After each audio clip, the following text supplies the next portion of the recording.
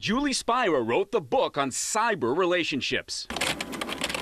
She met her husband online. That didn't work out. She's looking again. And so the news that dating sites will now essentially screen members for sex offenses is certainly welcome news. I think it's the site's responsibility to make singles feel safer. I think what they're doing is terrific because they're stepping up to the plate and providing education and links to dating safety articles and also, you know, checking for the sex offender database, which will make people feel more comfortable.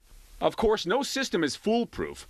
So Julie Spira has come up with some tips to make sure you don't make a dangerous mistake. There's a lot of easy ways to find out if somebody is really who they say they are, short of doing a background check. For example, use Google and Facebook. Check out the person you're considering dating. Set up a separate email and phone number just for dating purposes.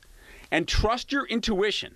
If you think something's wrong, you may very well be right. People want to be loved and loved so badly that sometimes they just take these red flags and they just shove them under the carpet because they want to be in a relationship. Right. If you see something suspicious in anybody's profile, or if they're from out of the country, or if they ask you for money, or anything seems a little odd, you know, report it to these sites. They really care.